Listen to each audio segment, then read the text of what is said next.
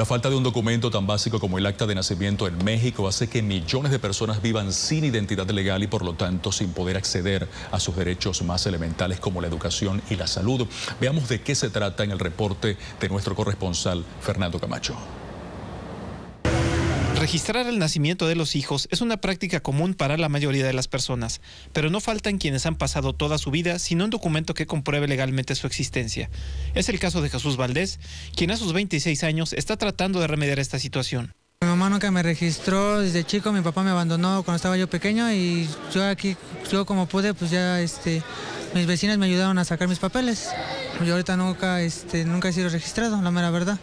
Sin haber ido nunca a la escuela ni haber sido vacunado, desde niño Jesús trabaja en autobuses de pasajeros. En la actualidad, la falta de acta de nacimiento le ha impedido encontrar empleo estable y le ha acarreado momentos amargos, dice su pareja. Primero las burlas, como dicen, el bullying de sus compañeros, de la misma familia que la ha adoptado, que, que no tiene papeles, qué tal si no eres mi hermano y también lo confundieron muchos al tal grado que decir, pues que a lo mejor me recogieron o qué.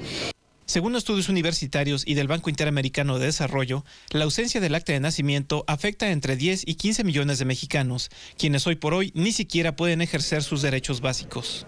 A partir de ahí eh, se empiezan a producir una serie de vulneración de derechos porque el acta de nacimiento es el instrumento necesario, por ejemplo, para acceder a la educación, para eh, poder acceder a los servicios de salud del Estado. Carecer de identidad legal hace más vulnerables a los mexicanos al tráfico de personas y al reclutamiento forzoso del crimen organizado, entre otras consecuencias. Aún así, las autoridades no muestran voluntad política para resolver este entuerto que implicaría mayores gastos, dice esta analista. Si ellos son documentados, si ellos registran a estas personas, se vuelven ciudadanos y hay que cubrir todas sus necesidades. Eso significa educación, salud, protección, etcétera. Pero el problema se hace aún más grande cuando los mexicanos sin registro de su existencia migran a Estados Unidos, pues allí enfrentan una situación de doble invisibilidad legal y de total desprotección. Aunque en junio de 2014 se reformó la Constitución mexicana para hacer gratuita la primera acta de nacimiento, muchas personas todavía no la obtienen porque no saben de este cambio o el lugar donde pueden hacerlo queda muy lejos de sus comunidades. Fernando Camacho, Telesur, Ciudad de México.